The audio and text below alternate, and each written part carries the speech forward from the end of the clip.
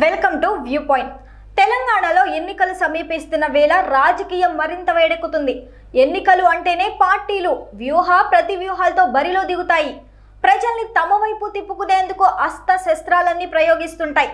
Assembly సమరం ముందు నిలిచిన తెలంగాణలో జనం నాడి పట్టుకునేందుకు పార్టీలు ఎత్తులకు పై ఎత్తులు వేస్తున్నాయి.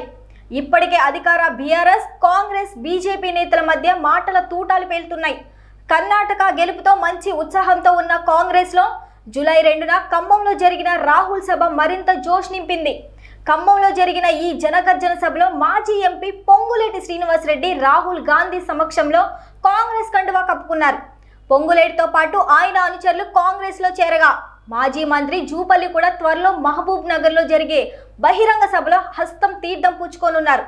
మరోవైపు కాంగ్రెస్ నేత పొంగులేటి శ్రీనివాసరెడ్డితో బీజేపీ నేత కోమటిరెడ్డి రాజగోపాల్ రెడ్డి భేటీ అయ్యారని ప్రచారం జోరందుకుంది.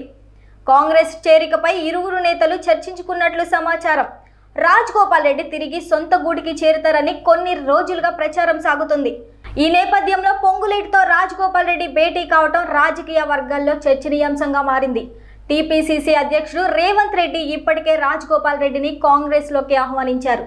అటు రాజగోపాల్ రెడ్డి సైతం కాంగ్రెస్ నేతలతో ఫామ్ హౌస్లో భేటీ అయిన విషయంపై క్లారిటీ ఇచ్చారు. అయితే తాను కాంగ్రెస్ జాయిన్ అవుతారా లేదా అనేది మాత్రం క్లారిటీ ఇవ్వలేదు. అయితే కోమటిరెడ్డి రాజగోపాల్ రెడ్డి కాంగ్రెస్ పార్టీలోకి రావడం ఖాయమనే ప్రచారం జోరుగా సాగుతుంది. కొద్ది రోజుల క్రితం నుంచి కోమటిరెడ్డి రాజగోపాల్ రెడ్డి తన అన్న ఎంపీ కోమటిరెడ్డి వెంకటరెడ్డి ద్వారా తిరిగి హస్తం పార్టీలోకి రావడానికి ప్రయత్నిస్తున్నట్లు తెలుస్తుంది. ఇప్పటికే ప్రియాంక గాంధీని కలిసినప్పుడు కూడా రాజ్ గోపాల్ రెడ్డి ప్రస్తావన తీసుకొచ్చారని తెలుస్తుంది. అయితే రాష్ట్ర ఇన్ఛార్జ్ మాణిక్రావు ఠాక్రే టీపీసీసీ అధ్యక్షుడు రేవంత్ రెడ్డితో చర్చించాలని కోమటిరెడ్డి వెంకటరెడ్డికి ప్రియాంక సూచించినట్లు తెలుస్తుంది. అటు బీఆర్ఎస్ మాజీ ఎమ్మెల్యే కూడా ఏఐసీసీ పెద్దలను తరచూ కలుస్తున్నట్లు సమాచారం.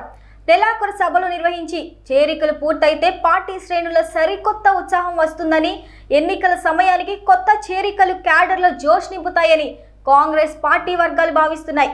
కర్ణాటకలో విజయం తర్వాత తెలంగాణ కాంగ్రెస్ చేరికలు ఊపందుకున్నాయి. ఈ క్రమంలోనే బీజేపీ బీఆర్ఎస్ ముఖ్య నాయకులకు హస్తం గూటికి రప్పించేందుకు హస్తం పార్టీ వ్యూహాలు రచిస్తుంది. ఈ నెల చివరి వారంలో పెద్ద ఎత్తున చేరికలు ఉండే అవకాశాలు ఉన్నట్లు కాంగ్రెస్ వర్గాలు చెబుతున్నాయి. ఇద్దరు బీఆర్ఎస్ ఎమ్మెల్సీలు కూడా పార్టీలో చేరడానికి సిద్ధంగా ఉన్నట్లు హస్తం నేతలు అంటున్నారు. అంతేకాదు గతంలో కాంగ్రెస్ నుంచి బీజేపీలోకి వెళ్ళిన నాయకులను గర్వాపస్ పేరుతో తిరిగి పార్టీలోకి రప్పించే ప్రయత్నాలు ముమ్మరంగా సాగిస్తున్నారు.